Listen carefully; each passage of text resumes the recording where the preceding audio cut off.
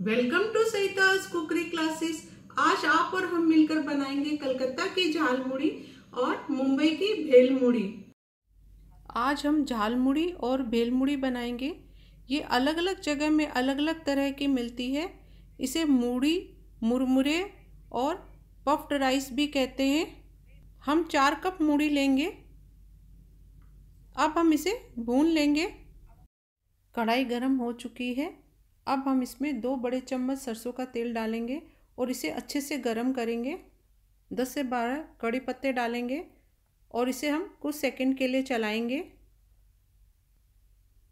अब हम चार कप मूड़ी डालकर लो फ्लेम पर इसे भुनेंगे। इसे हमें चलाते हुए भूनना है। अब हम ऐड करेंगे आधा छोटा चम्मच हल्दी पाउडर, एक छोटी चम्मच लाल मिर्ची पाउडर आधा छोटी चम्मच चाट मसाला। इसे हम अच्छे से मिक्स कर देंगे। यदि आपको चाय के साथ ऐसी खानी है तो आप इस टाइम नमक ऐड कर सकते हो।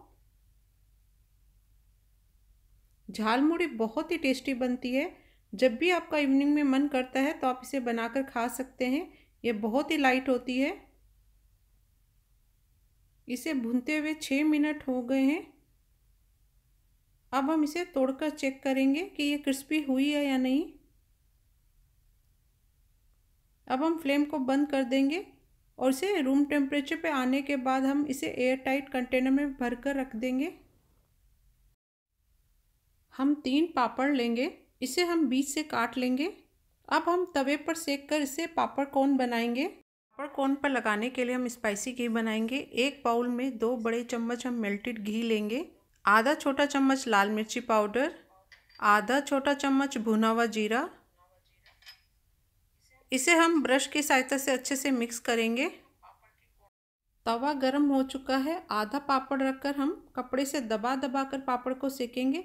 पापड़ को हमें मीडियम फ्लेम पर ही सेकना है। पापड़ को हम दूसरी तरफ़ से भी सेकेंगे। हम पापड़ के दोनों कोनों को पकड़ करके इस तरह से पापड़ कोन बनाएँगे। एक मिनट तक पकड़ कर रखेंगे तो पापड़ सेट हो जाएगा। हम पापड़ कोन को लेंगे और इसके अंदर हम साइड में ब्रश की सहायता से स्पाइसी घी लगाएँगे। पापड़ कोन को सर्व करने से पहले ही बनाना है, बहुत पहले बना के नहीं रखना है, नहीं तो ये सोगी हो जाएँगे। सभी पापड़ कोन को हमें इसी तरह से रेडी करना है। हम एक बाउल में चार कप भुनी हुई मूढ़ी लेंगे। अब हम ऐड करेंगे आधा कप अंकुरित चने।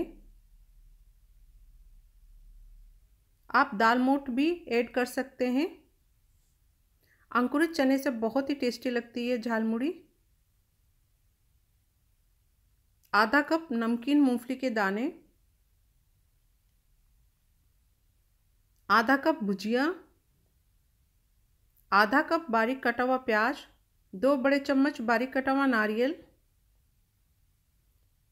दो हरी मिर्च बारीक कटी हुई, दो बड़े चम्मच बारीक कटा हुआ धनिया, आधा कप बारीक कटा हुआ खीरा, दो बड़े चम्मच अचार का तेल। हमें मसाले के साथ डालना है।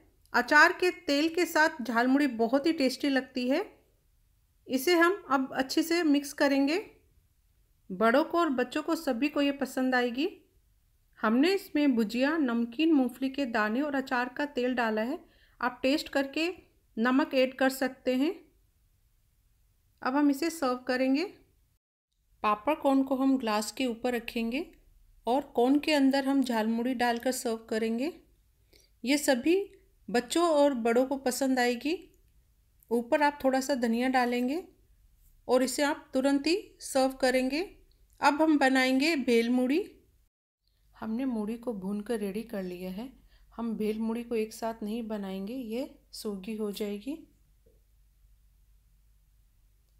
हम थोड़ी थोड़ी करके बनाएँगे। हम एक बाउल में एक कप भुनी हुई मूड़ी लेंगे।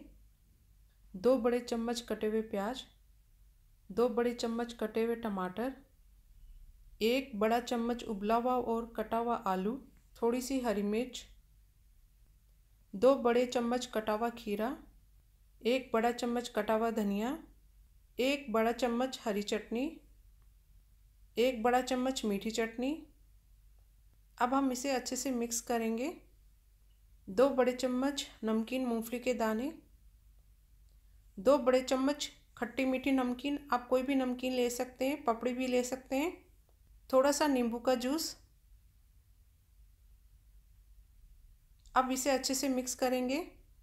दोनों चटनियों में नमक है, इसलिए हमने नमक ऐड नहीं किया है। आप टेस्ट करके देख सकते हैं। यदि आपको ज़रूरत है तो आप थोड़ा सा ऐड कर सकते हैं।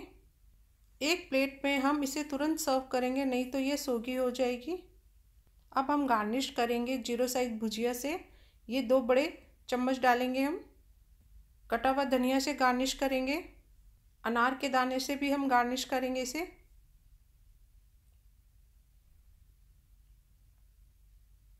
यदि आपको मेरी रेसिपी पसंद आई हो तो मेरे चैनल को सब्सक्राइब करें लाइक के बटन पर क्लिक करें. Thanks for watching my video